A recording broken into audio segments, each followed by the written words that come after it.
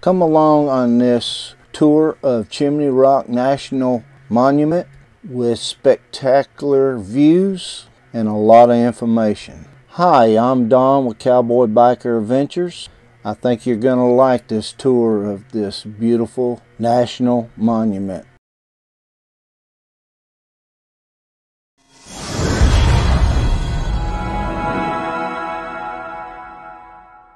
Let's start off with a map that shows you the exact location of Chimney Rock. It is in between Pagosa Springs and Durango, Colorado, right off of Highway 160. Let's take a look around of the entrance of Chimney Rock right off of Road 151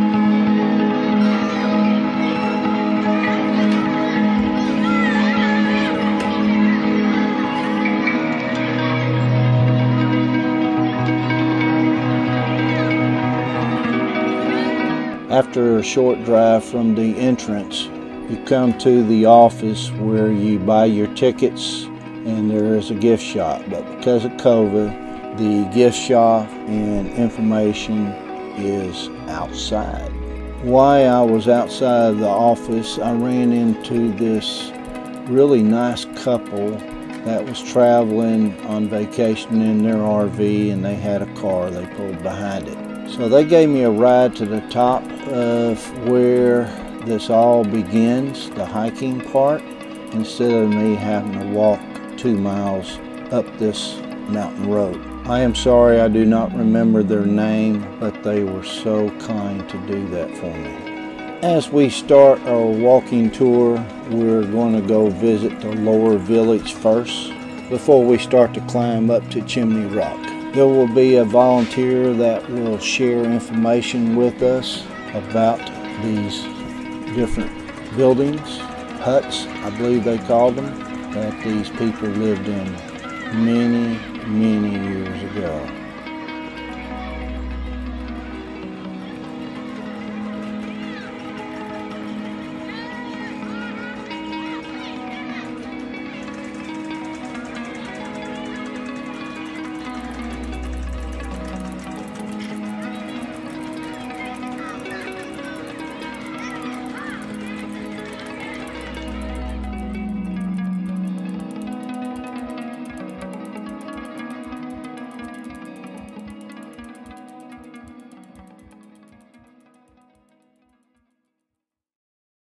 Right, so um, we think there were two groups of people at Chimney Rock. So the locals who built houses like this, and then people from Chaco Canyon who who uh, built the house at the the great house at the very top.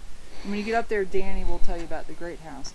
But this is a, a typical pit house for this area. Now, as you guys are walking down, you can see these what we call crater mounds and these are all unexcavated pit houses right here.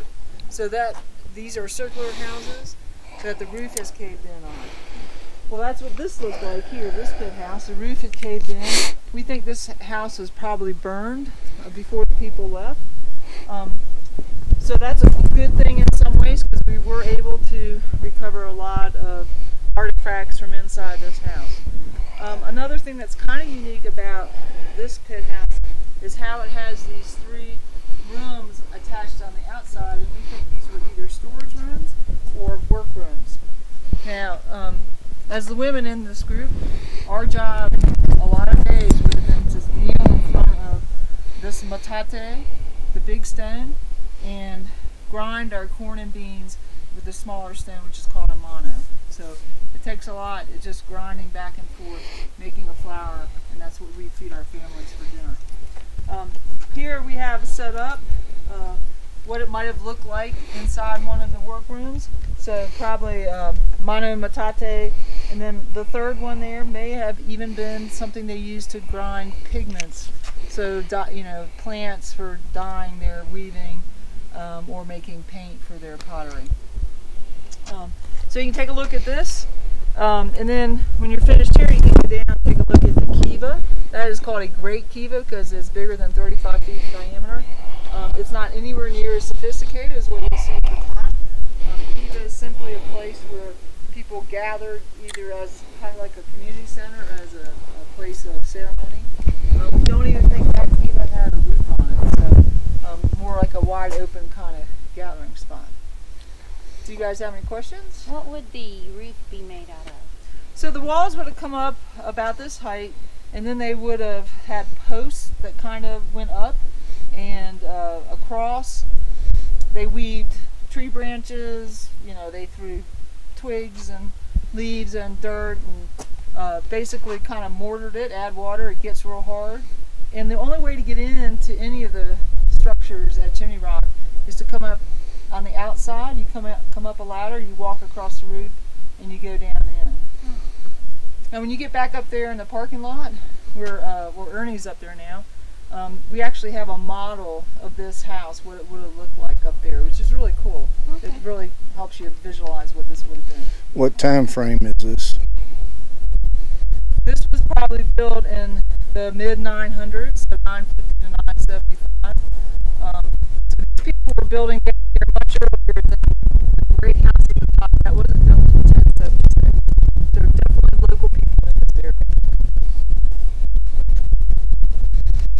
And I assume the interest is to keep out uh, unwanted creatures. That's what I'm thinking, either four-legged or two-legged. Right. right. Okay. Yeah. Now, you said you did discover some artifacts. Yep, lots of artifacts. I mean, obviously, there's probably more than this. Where, where are those kept? Um, all the artifacts found here and the excavations at the top were all sent out to different museums. So all, all our artifacts are all over the world. Okay. There's not one place. And they are building that new visitor center down below, but even then they won't have the proper storage for the artifacts. So well, it's nice if there's that many. Yeah, they're definitely, and they found some really cool stuff here. So nice. Yeah, cool. Pottery, just pottery,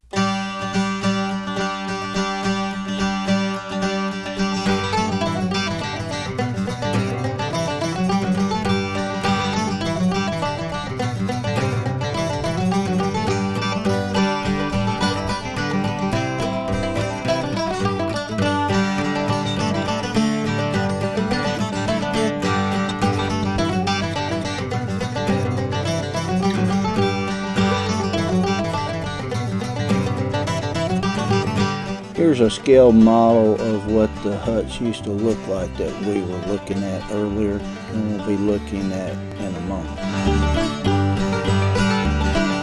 As we start our climb to the big house that's up at the top by Chimney Rock, we're going to first go here to the left to some more buildings at the lower village.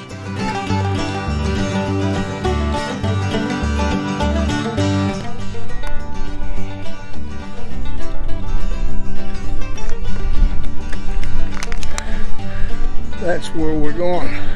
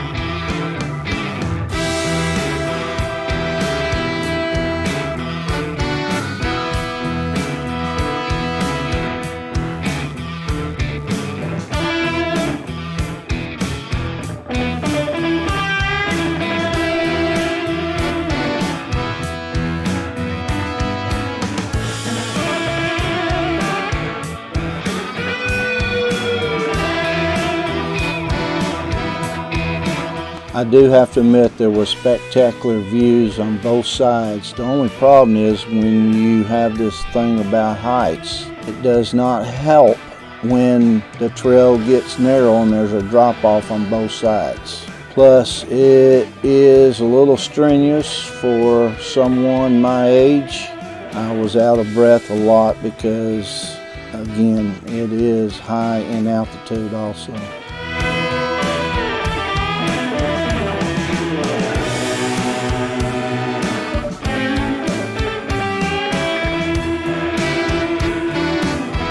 As we reach the great house towards the top of the mountain, let's take a look around.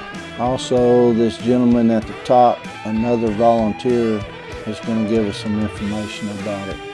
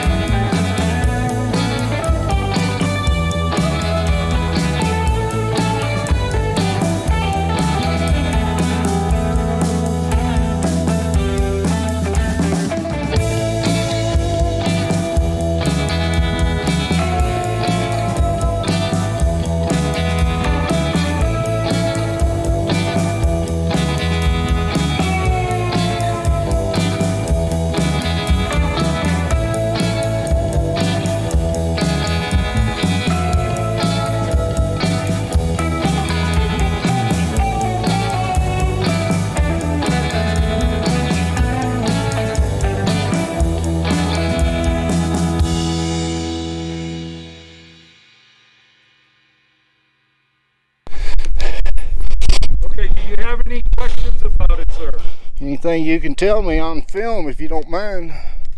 Okay, so you saw the two kivas. Okay, this kiva was built 1076 during the northern lunar standstill. The far kiva was built in 1093 during the northern lunar standstill. Very important astronomical event, but also spiritual event. And the ancient ones, their spiritualism was based off of the heavens, the woods, the, the forest, and an underworld. So, this was a very, very important site because it replicates a the spiritualness that they have in their community. We think. Any other questions? I don't know enough to ask. Okay. The bottom layers there are original. Yeah, so it's uh, you're looking at a lot of original stonework here. So, but they had to do using modern cement.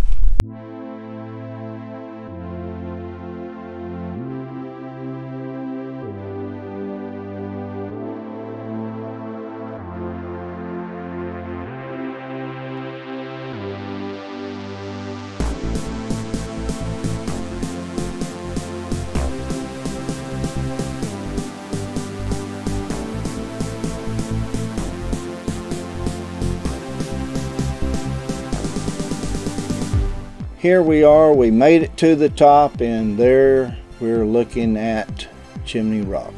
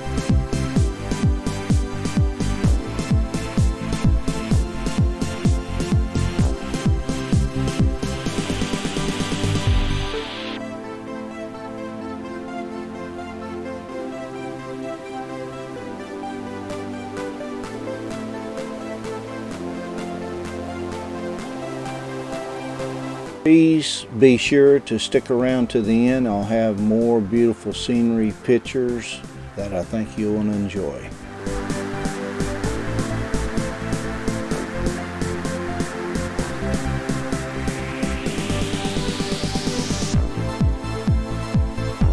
As we start back down this mountain that also has beautiful views on the way down, I want to thank you for coming along this tour of Chimney Rock National Monument. I hope you enjoyed it. If you did, please give me a thumbs up. If you would like to see adventure videos about once a week, please subscribe to my channel and don't forget to ring the bell. That way you will not miss any future videos. So until next time, have a good one.